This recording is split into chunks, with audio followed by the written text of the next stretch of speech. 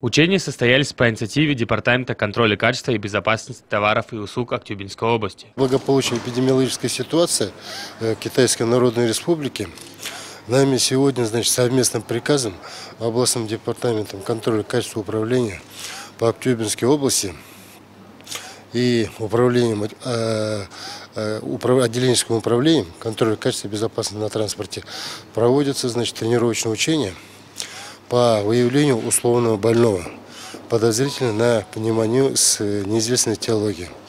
Ну, согласно легенде, э, больной, значит, пребывал, значит, в командировке, в служебной командировке в городе Ухан, Ухань, э, значит, э, по возвращению, э, значит, с, Астаны, с Нур-Султана до Актюбинска э, почувствовал, значит, себя э, недомогание, температуры, повышение температуры, кашель. И вот сейчас, значит, при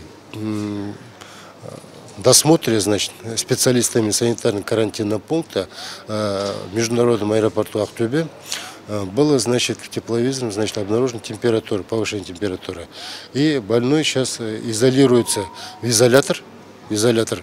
И дальнейшая, значит, тактика действия, согласно оперативному плану, значит, утвержденного заместителем Акима Актюбинской области, э, формируется, значит, группа, консультативная группа, дезинфекционная группа и, значит, э, эпидбригада.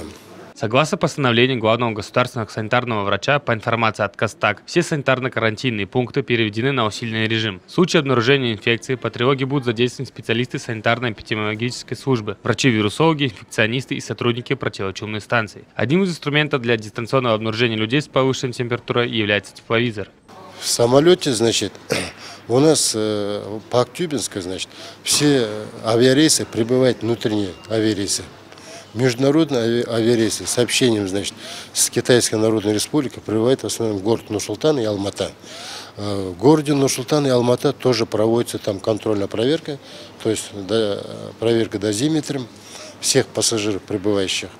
А в дальнейшем, согласно значит, инкубационного периода, конечно, на тот мо- момент могут не выявиться, но в ходе э, дальнейшего, значит, согласно инкубационного периода, например, течение там у них продлевается в среднем от 2 до 7 дней, но максимум до 10 дней. Ну вот в этих пределах, значит, мы можем, значит, определить здесь, э, в международном аэропорту. При выявлении больной, э, жалоба пассажира в воздушном суду, э, значит, стюардесса передают командиру воздушного судна, командир воздушного судна передает ДСП, то есть диспетчерскую службу, а дальнейшая тактика отрабатывается согласно оперативному плану. Напоминаем, в декабре в китайском городе Ухань была зафиксирована вспышка пневмонии, вызванная ранее неизвестным типом коронавируса. Было установлено, что вирус передается от человека к человеку. По последним данным, установлены более 870 инфицированных человек, 26 умерли. Асфандиаров Руслан, Жасан Жубаев, программа «Факт».